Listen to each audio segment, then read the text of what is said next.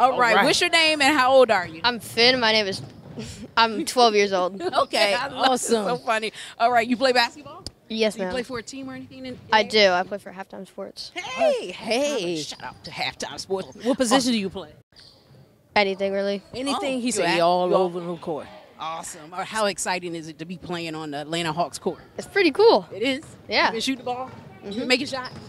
Mm-hmm. all right, awesome. right. Now look, our slogan on Twin Sports TV is "Get your game, up. What do you do to stay on top of your game? Practice what? Practice. That's practice, it. Practice, practice, I love it. Love that haircut too. Look in the camera and tell everybody, say, "Get your game up." Get your game up. Woo! We Get get 'em him up. up.